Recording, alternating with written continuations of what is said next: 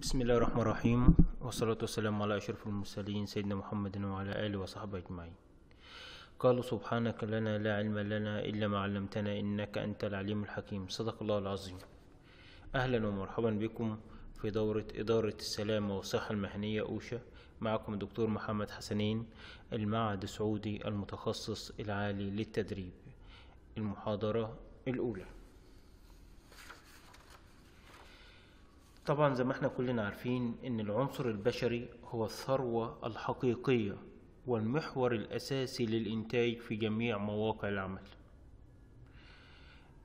أي مكان عمل يحتوي على أجهزة وأدوات وآلات ضخمة ومهما بلغت درجة تطور هذه الآلات وتعقدها فستكون غير مفيدة بدون وجود العنصر البشري. فالعقل البشري هو الذي يحركها ويوظفها ويقوم بعملية الصيانة. فالعقل البشري له أهمية كبيرة. لذلك لابد من العدل والإنصاف أن تتوافر له ظروف العمل الآمنة والكفيلة لحمايته. حتى تتحقق له درجة من السلامة والصحة المهنية وبالتالي ينعكس على زيادة الإنتاج. وفي هذه الدورة سنتناول إدارة السلامة والصحة المهنية وسوف نتطرق فيها إلى المعايير أوشا للسلامة والصحة المهنية ومن المتعارف عليه أن هذه المعايير معايير عالمية. أولا مفهوم إدارة السلامة والصحة المهنية. تعرف إدارة السلامة والصحة المهنية على أنها تلك الإدارة التي تقع عليها مسؤوليات وواجبات الإدارة من توجيه وتخطيط وتنفيذ ومتابعة كل ما يتعلق بالأمن والسلامة المهنية في المؤسسة أو المنشآت ووضع القواعد والتعليمات الفنية لضمان سلامة العاملين والممتلكات البيئية ووضع استراتيجية سواء في برامج التدريب أو التثقيف والوعي التي يمكن من خلالها الارتقاء بمستوى أداء العاملين. يعني بمعنى صح نقدر نقول عليها إدارة السلامة والصحة المهنية بيكون الهدف بتاعها توفير بيئة عمل آمنة وصحية للحفاظ على ثلاث مقومات أساسية اللي هي الإنتاج والإنسان والآلة. وضمان خلق جو من السلامة والطمأنينة لحماية العنصر البشري. ليه؟ لأن سوء الصحة المهنية يؤدي إلى انخفاض القدرة على العمل وقد يسبب خسائر اقتصادية. أحيانا تصل من عشرة لعشرين في المية. يبقى ده مفهوم السلامة والصحة المهنية.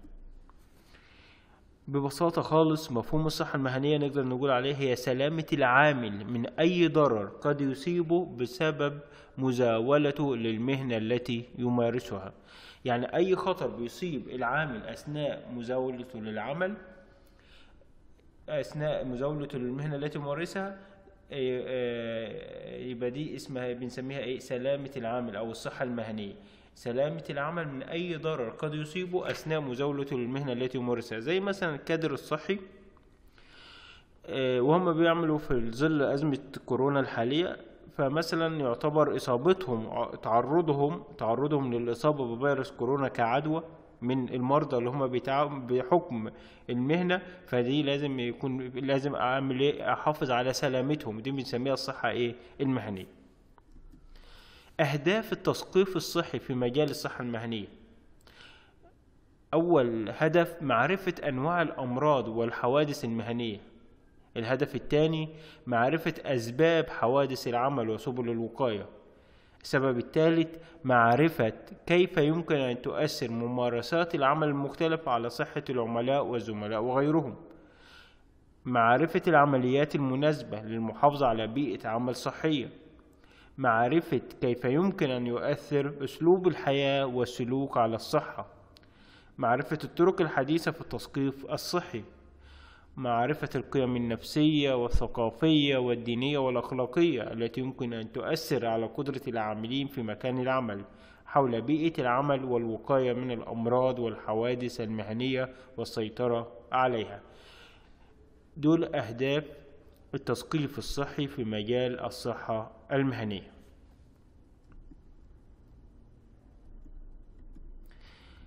دوافع الاهتمام بإدارة السلامة والصحة المهنية. ليه كل المنشآت بتهتم بإدارة السلامة والصحة المهنية. تدعو الحاجة إلى الاهتمام بإدارة السلامة والصحة المهنية نظرا للاعتبارات التالية. رقم واحد الاعتبار الإنساني.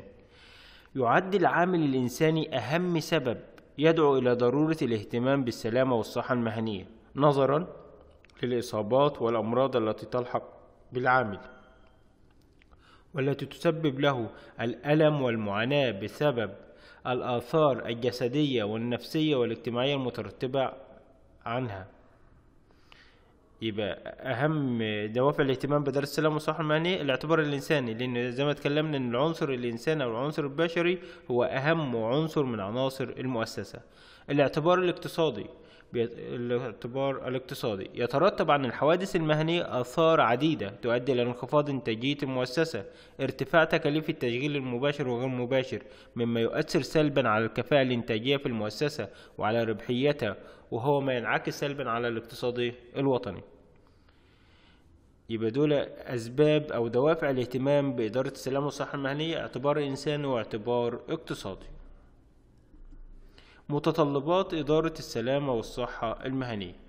أربع متطلبات رقم واحد التخطيط رقم اتنين العمليات والتطبيق رقم ثلاثة الفحص والتصحيح رقم أربعة التحسين المستمر. يبقى متطلبات إدارة السلامة والصحة المهنية أربع متطلبات رقم واحد التخطيط رقم اتنين العمليات والتطبيق رقم ثلاثة الفحص والتصحيح رقم أربعة التحسين المستمر. أولا التخطيط. يتضمن التخطيط تحديد مصادر الخطر اللي بيتعرض لها العامل في عمله وتقييم الخطر الناتج والتحكم فيه وكذلك تحديد المتطلبات القانونية والمتطلبات الأخرى المتعلقة بالصحة والسلامة المهنية وتحديثها بشكل مستمر. وكذلك المحافظة على الأهداف المتعلقة بالسلامة والصحة المهنية بالنسبة لكل وظيفة ومستوى داخل المؤسسة.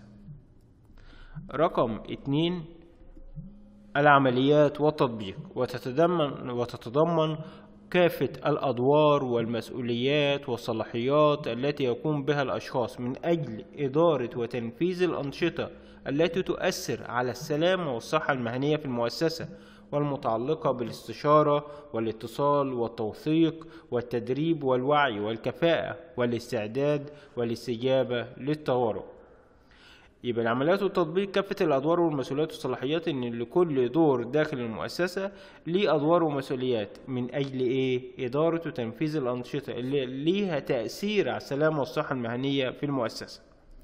رقم ثلاثة الفحص والتصحيح. طبعا الفحص والتصحيح اللي إحنا بنسميها عملية الرقابة. فعملية الرقابة لازم يكون في معايير للقياسة تمام ويتضمن تحديد مقاييس الأداء التي تعمل على مراقبة الانسجام مع برامج إدارة السلامة والصحة المهنية وكذلك تحديد مقاييس الأداء التي تعمل على مراقبة الحوادث وتسجيل البيانات ونتائج ونتائج المراقبة وقياس الفاعلية في تحليل الأفعال الوقائية. بالإضافة لاكتشاف ومعالجة الحوادث وحالات عدم التوافق وإكمال الأفعال التصحيحية والوقائية والتأكيد على فعاليتها عملية الفحص والتصحيح بيكون الهدف منها اكتشاف الانحرافات أو اكتشاف الأخطاء في عملية في إدارة السلامة والصحة المهنية داخل المؤسسة ككل والعمل على تصحيحها اللي إحنا بنسميها رقابة وقائية. رقم أربعة التحسين المستمر. ويعني القيام بتدريب العاملين والتحسين المستمر لقدراتهم وذلك لتأهيلهم وزيادة معرفتهم في مجال السلامة والصحة المهنية. وتظهر إجراءات التحسينات المستمرة في سياسة السلامة والصحة المهنية من خلال إعادة النظر في المتطلبات العامة ومن خلال التغذية العكسية. وبكده تنتهي محاضرة اليوم. شكرا لحسن استماعكم ونلقاكم في المحاضرة القادمة إن شاء الله.